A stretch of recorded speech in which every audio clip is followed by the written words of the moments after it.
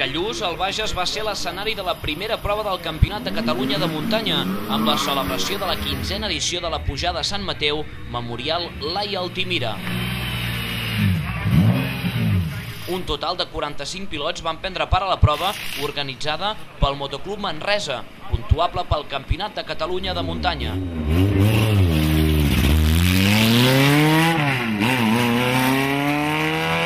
La pujada es va disputar en un tram de 5 quilòmetres entre Callús i Sant Mateu de Bages, que va plegar un bon nombre de públic, tot i el mal temps.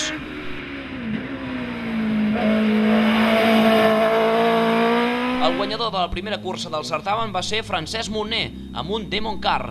Moner va fer valer el millor temps aconseguit en la segona de les curses del dia i es va imposar amb una diferència de menys de dos segons respecte al segon classificat, Christian Cifres, amb un Speedcar GT1000.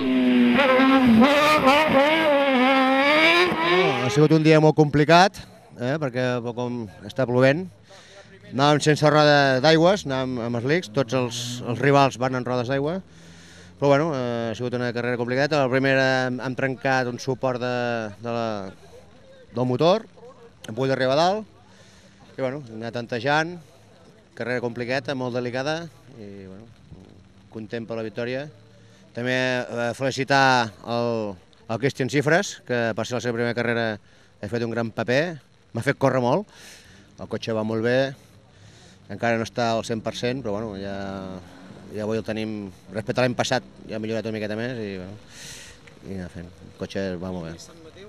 És una traçada molt maca, molt tècnica, mai, mai l'havia fet plovent i se't fica la pell de gallina, els pèls, en tinc pocs, però els pocs que tinc se'm ficaven de, de punxa i molt de respecte, molt, molt maca. Cifres més habitual als ral·lis debutava en aquesta especialitat i va oferir una bona actuació. Amb el seu monoplaça, Cifres va fer scratch en la primera mànega, però el millor temps el va marcar en la segona, just darrere de Montner. El pilot estava satisfet després de finalitzar la prova. Bé, doncs començàvem al matí una mica, una mica preocupats perquè no portàvem rodes d'aigua eh, i al ser la primera cursa feia una mica de respecte sortir amb aquest cotxe així emmullat. Després al final hem decidit ratllar les rodes que portàvem i provar-ho. I ha sortit prou bé. A la primera de cursa hem fet primers i a la segona hem fet segons, vull dir que millor impossible per ser la primera cursa.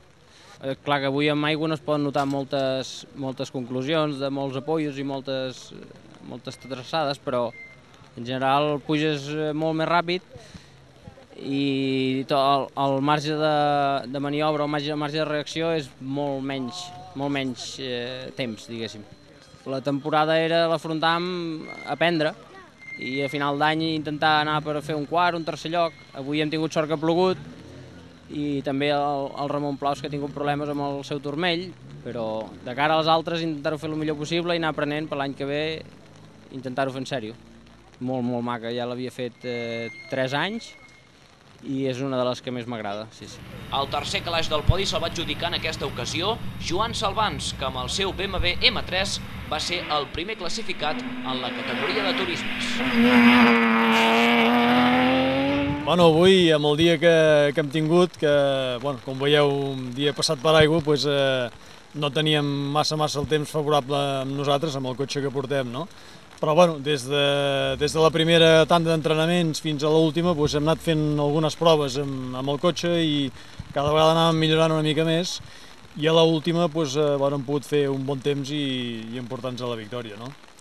Bueno, és una pujada, no és massa ràpida, és una pujada una mica revirada, llavors, pues, eh, bueno, amb, amb, amb aquest tipus de cotxe amb tracció darrere pues, eh, tens, tens, és, més, es complica més no? el ser més revirat, no pots anar ràpid i menys pues, amb, amb, amb aigua. No?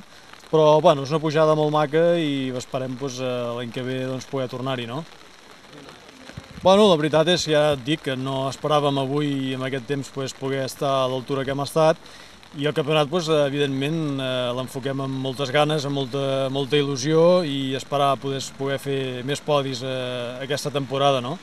I a veure si tampoc eh, trobem, trobem eh, tants dies com avui, no? que són dies pues, eh, complicats, no? encara que, que haguem guanyat no deixen de ser dies complicats i dies de risc per, per, per tenir alguna sortida, alguna, algun fora de pista. No? Bé, eh, tot jo haig d'agrair molt a l'equip, eh, tant amb el, amb el Font, amb Mecànic, com en Riera, i, i estic molt content.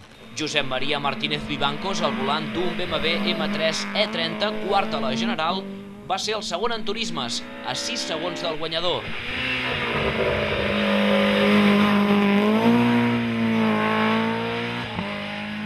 La tercera posició entre els turismes va ser per Gerard de la Casa i el seu Seat Córdoba World Rally Car.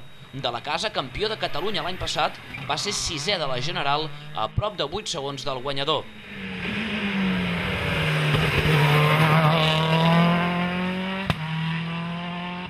Entre els monoplaces, el tercer classificat va ser en Ramon Plaus amb un Speedcar GTR.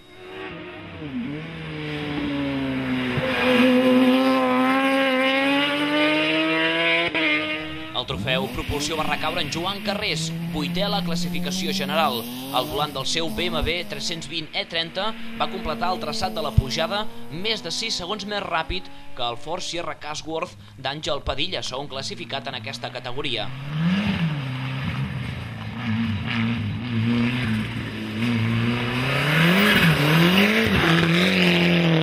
Entre els cotxes de regularitat esport, el Renault Alpine A310 de Joan Argemí va ser el més regular després de pujar a Sant Mateu de Bages, cometent només 28,9 punts de penalització en tota la prova. Alfons Navarro, amb un Volkswagen Sirocco GTI, va finalitzar la prova segon amb 37,9 punts de penalització i Lluís Teixidor, amb un BMW 323i, va ser tercer amb 51 punts.